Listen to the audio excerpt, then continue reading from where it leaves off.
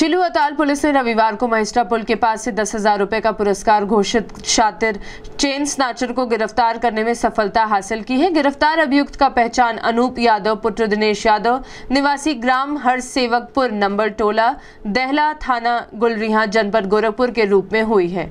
इसके पास से पुलिस ने बारह बोर का नाजायज तमंचा व कारतूस, लूटी गई चैन को बेचकर पाया धन से बारह सौ रुपये नगद, लूट में प्रयुक्त आपाची बाइक बरामद की है। चिलू अताल थाने पर घटना का खुलासा करते हुए सर्किल ऑफिसर कैंपियरगंज दिनेश सिंह ने बताया कि गिरफ़्तार अभियुक्त गो तस्करी में भी जेल जा चुका है।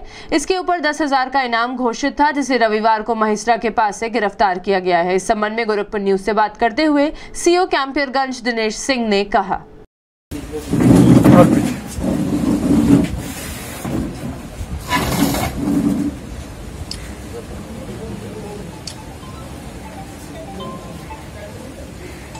ये सब है फ़ोटो वीडियो है ना फ़ोटो सब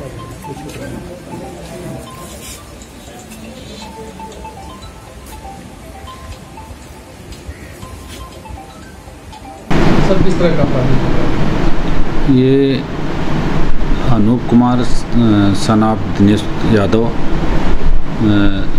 ये हर सेवकपुर थाना गुलरिया, जनपद गोरखपुर का निवासी था।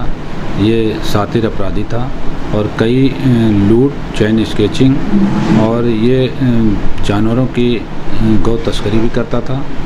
इसको ये मैसरा पुल के पास कल रात्र में लगभग साढ़े दस बजे वहाँ खड़ा था तो किसी ने सूचना दिया तो फिर स्वाट टीम और हमारे चिलवा ताल की संयुक्त टीम की कार्रवाई में ये पकड़ा गया। और आज उसको विधिक कार्रवाई और उसके पास एक ट्वेल्व बोर का कट्टा एक कारतूस बारह सौ रुपये नगद बरामद हुआ। और इसके साथ ही साथ उसको पकड़ करके जेल भेजा गया है। विधिक कार्रवाई की जा रही है? हाँ इस पर हमारे वरिष्ठ पुलिस अधीक्षक महोदय इसका आपराधिक इतिहास को देखते हुए दस हज़ार रुपये का इनाम घोषित किए थे। पहले भी कई बार जेल जा चुका है।